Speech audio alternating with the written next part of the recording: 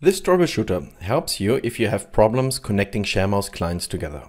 First of all, check that ShareMouse is running on all computers, which is indicated by the ShareMouse symbol in the menu bar or the task tray. Hover the icon to get status information. ShareMouse tells us that any network adapter is enabled. All computers must be connected to a local network, so make sure to establish a network connection.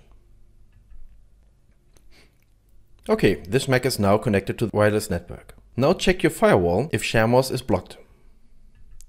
Open System Preferences Switch to Security and Privacy. Switch to Firewall. You may need to click the padlock and then review the firewall options. Make sure that ShareMouse is allowed to receive incoming connections. This is fine here. Now let's review the settings in ShareMouse. Click the ShareMouse symbol and select Settings. Switch to the Network tab. If any other ShareMouse client has password protection, you must enable it here too. Enter the same password as on the other clients.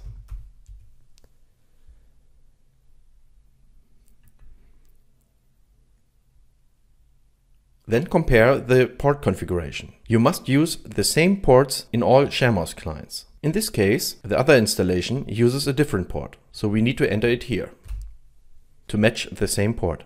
Then let's switch to clients. No client is shown. Make sure that this option is enabled so ShareMouse sends its IP address information to other clients. Do this on all ShareMouse installations. If UDP broadcast is not allowed in your network, you have the option to enter IP addresses of other ShareMouse clients manually.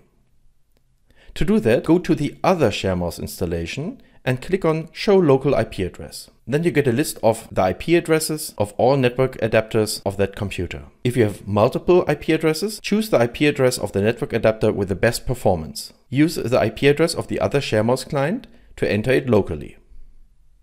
In this case, the other ShareMouse client has the IP address as shown here. Click the plus button to enter it. Excellent. This seems to be the problem in this case. UDP broadcast is not allowed in the network, and so the ShareMouse clients could not find each other.